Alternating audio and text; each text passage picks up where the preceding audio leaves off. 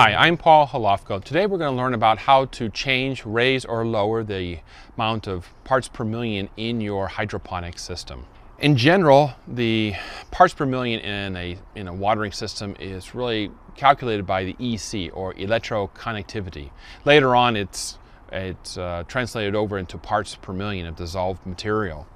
What you really want to do in a hydroponic system is you want to have a threshold of around uh, 400 parts per million. In this case, um, I'm using a EC meter or a parts per million meter and I stick it into the, uh, put it in the right setting and stick it into this aquaponic system. This is an aquaponic system as opposed to a hydroponic system, but the same type of rules apply for it.